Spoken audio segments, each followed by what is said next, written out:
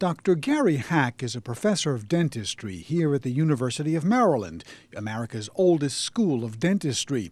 He says dentists have long done what they could to respond to patients' desire to look better. Obviously, people are very interested in their appearance. Um, for example, Botox that you can put into the lips and the face is one of the highest um, utilized aesthetic practices in the country. So dentistry fits into that, the concept of looking younger and being more vigorous. So people are very interested in aesthetics and the whole concept of cosmetics, and that relates to dentistry as well.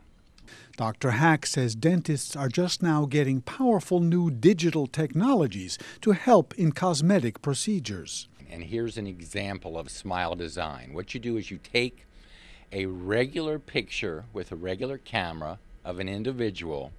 You can then create the you take a scan in their mouth and you create the restorations and you can actually position these teeth within the patient's mouth and you can move it around and create a three-dimensional image so you can design the smile how it relates to the lips, how it relates to the gums, how it relates to the face, all digitally. A dentist and their patient then discuss what kind of cosmetic changes to make. On this patient here, let's see if I can turn it, you can see here would be a veneer. You can see how the front of the crown of the tooth is just cut down, and then we could actually create a tooth there and we could design it, fit it into their mouth, and then mill it. So it's an exciting technology. Traditionally, if a patient needs a crown, an artificial replacement for a damaged tooth, a dentist has to take a cast of the patient's teeth by putting a special putty in the patient's mouth. But digital technology is changing all that. Rather than creating a stone model, which you then have to mail to the lab, what you can do is you can take a machine like this called an acquisition unit and you can simply go into the patient's mouth and click a few pictures. And within seconds up on the screen you will develop a digital model. And then the computer will design a crown. You'll notice how this tooth has been cut down to receive a cap on it you see the computer thinking about the surrounding teeth, and it's actually going to create an aesthetic restoration. And I can then send that digital data.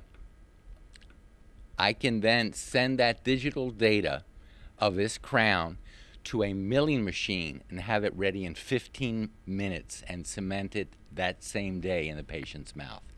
Some things will not change Dental exams, drilling out and filling cavities, and periodic cleanings will continue to be as important as ever. But when it comes to replacing broken or missing teeth and other cosmetic interventions, Dr. Hack believes the new digital techniques represent the future of dentistry. I think that this concept of digital dentistry will have a tremendous impact on access to care. In poor countries, this type of technology, I think, is going to expand significantly the type of service that individuals in a country can achieve. And why is that? Why, why would it expand it? Because it's more efficient and it's less time consuming. Even within this country, a person who's working full time might have to come two, three times for a to have a crown made. With this technology, you can do it in one visit.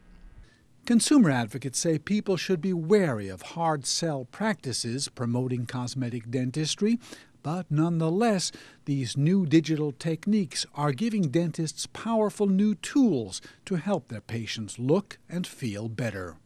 The use of computer technology is rapidly changing the practice of dentistry, particularly in cosmetic interventions. By making such procedures faster and cheaper, digital technology is allowing more people around the world to benefit from cosmetic dentistry. For Saudi Good Morning, this is Burton Bollag in Baltimore.